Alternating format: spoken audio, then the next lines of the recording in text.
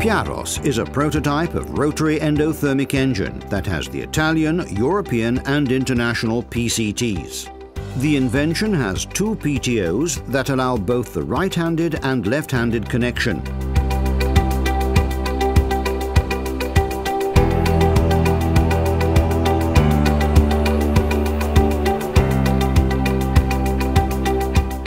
Two covers contain all the engine components in a single body.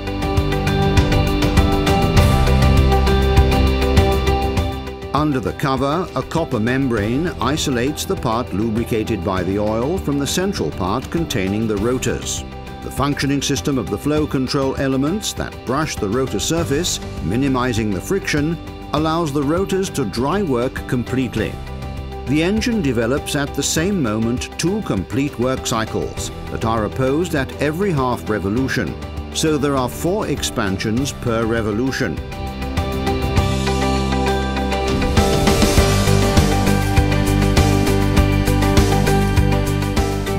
Can divide each work cycle into nine steps. In the first step, the air coming from the turbine, marked in light blue, goes into the engine from both heads through the two pipelines. In the second step, the rotation of the two external rotors compresses the air, making bicompressed air, marked in blue. When the pressure of the bicompressed air exceeds the pressure of the air in the loading tube, the gate valve opens to let it flow.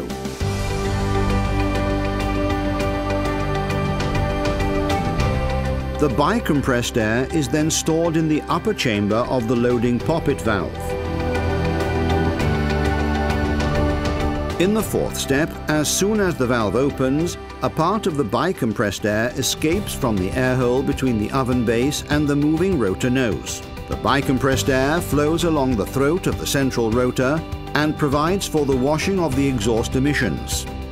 In the fifth step, the oven base is completely occluded by the rotor nose. This allows the accumulation of bicompressed air inside the oven. In the sixth step, as soon as the valve closes, the first injector sprays fuel in the oven and soon after the spark is triggered causing the first burst. Now the incandescent air, marked in red, is poured into the central rotor, giving it a strong push.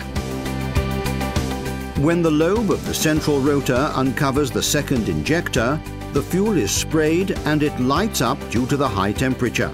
The second burst greatly increases the boost pressure.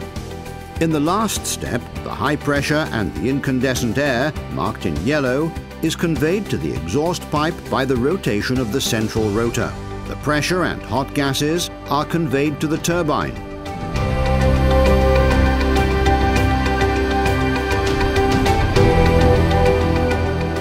The engine Piaros uses three oil circuits in order to ensure a proper lubrication of the contact parts and at the same time in order to cool down the parts most subject to high temperatures.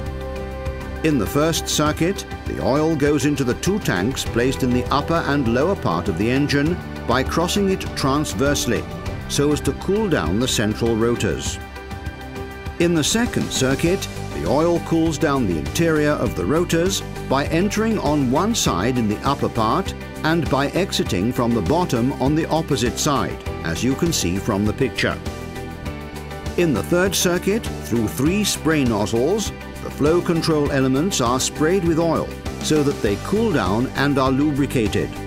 The oil continues its path and it is expelled through the exhaust pipe placed in the lower part of the cover plate.